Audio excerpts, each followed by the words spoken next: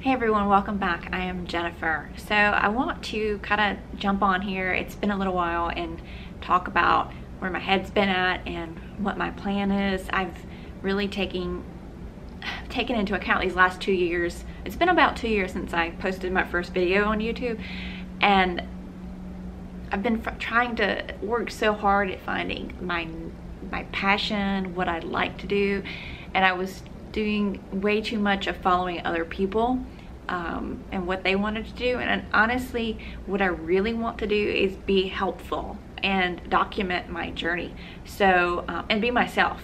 Um, that's the key for me. And that's what I think I've finally figured out.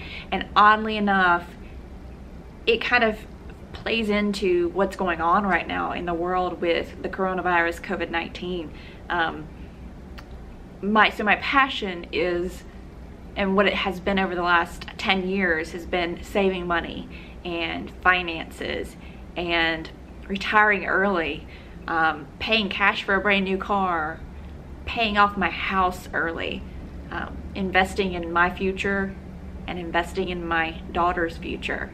And you know thinking ahead of you know how I can help my grandchildren and my great grandchildren um, because the the path to wealth is a marathon not a sprint.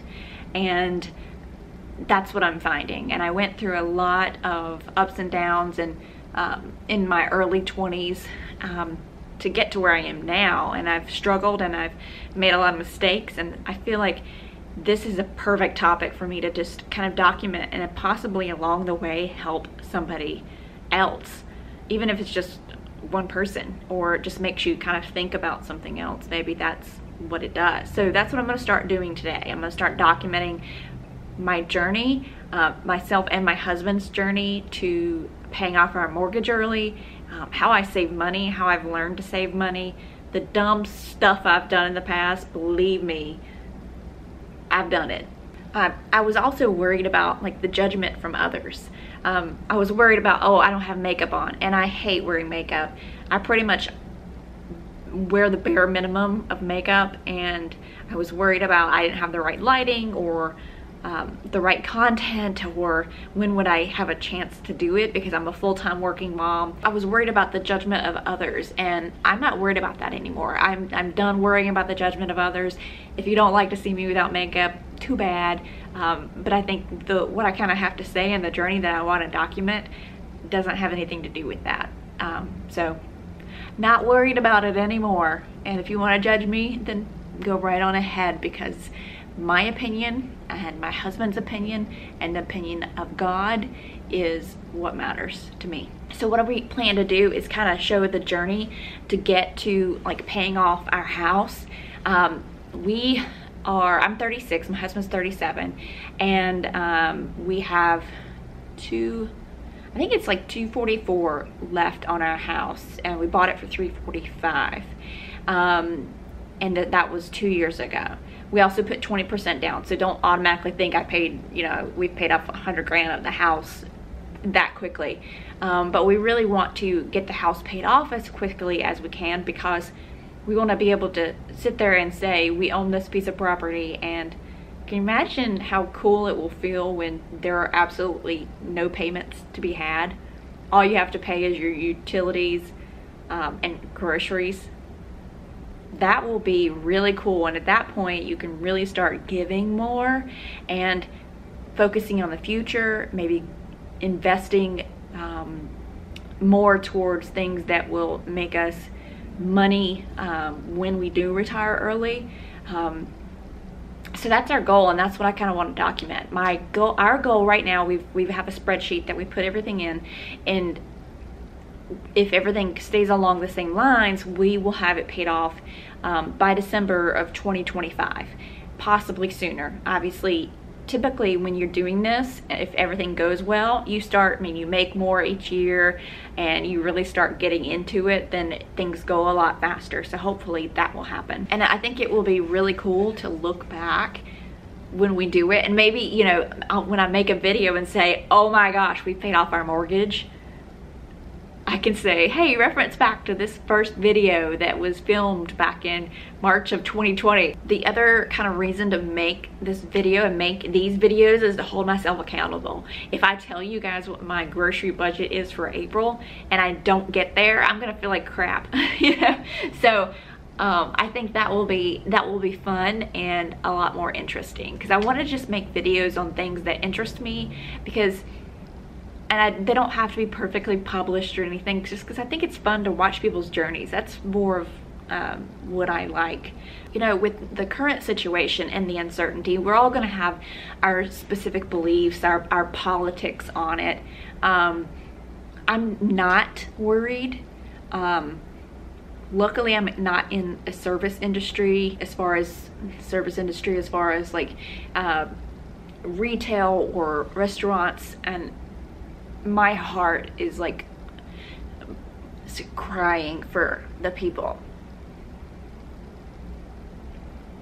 that are going through that right now. I i remember 2008 um, i was in the real estate i was a real estate agent in 2008 well actually in 2006 and 7 and then I saw it coming and got out and went into property um, uh, property leasing at in 2008 so I saw it coming and I saw the next five years and how difficult they were.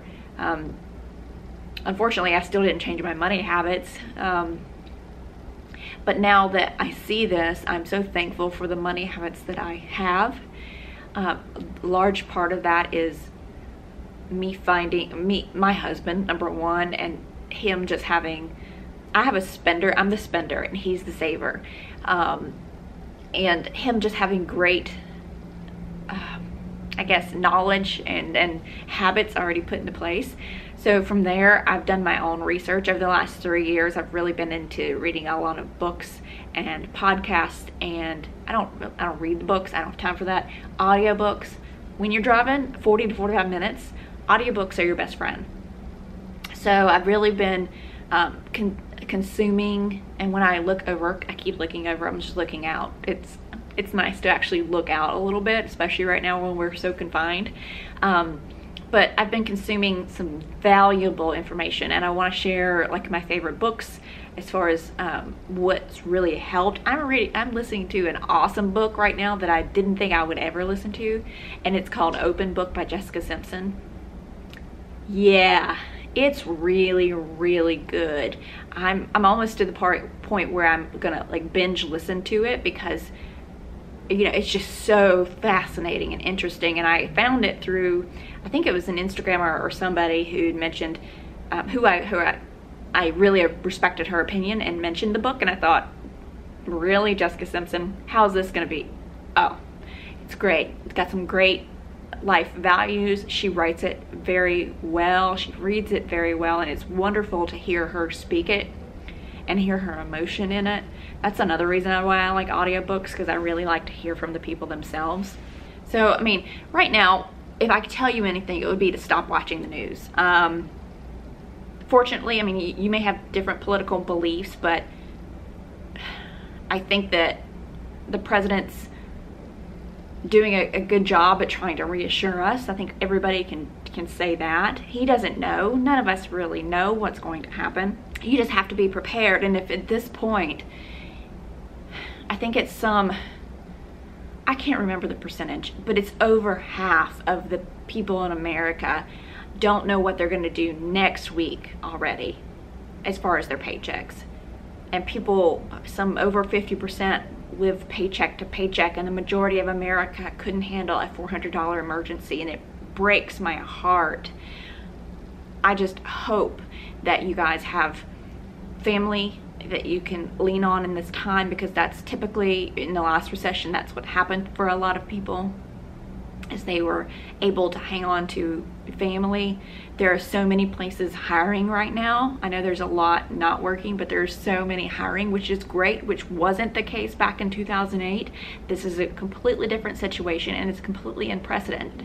So we, I mean, you're really navigating through many different aspects of this pandemic, this recession, and um, it's it's all in the very beginning of it. But I hope that I can bring some light into it and start to give you tips and tricks and what I've learned over the last 10 to 15 years of um, going through different money struggles, and maybe it will help you to decide today's the day I need to do a budget. Today's the day I need to list out all of my debts. Today's the day I need to figure out what I would do if I did lose my job next week because we don't want to always face what's going to or could happen, but we're now getting smacked in the face with this could happen, you know, rather than the rose colored glasses of the last seven to eight years of the economy just being amazing.